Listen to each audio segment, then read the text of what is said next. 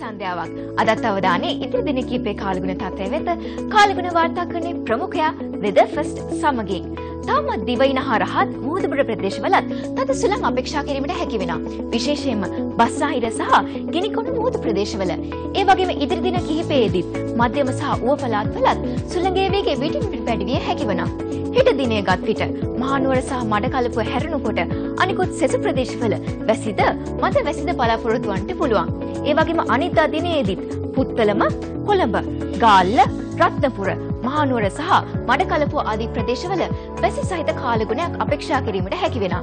ඒ වගේම හත්වනදා ගත් විට මහනුවර මඩකලපුව යාපනය ආදී ප්‍රදේශවල අහස බලාකුලින් බරවන්නට පුළුවන්.